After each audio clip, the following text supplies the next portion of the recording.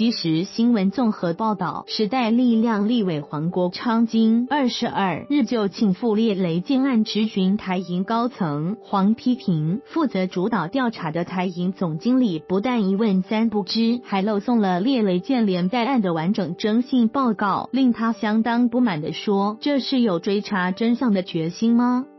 黄国昌在脸书上写道：“金管会主委顾立雄表示，因金管会对台银没有精简，必须由台银自行调查。但负责主导的台银总经理在被询时一问三不知，痛批是在调查什么，还是根本在装傻？”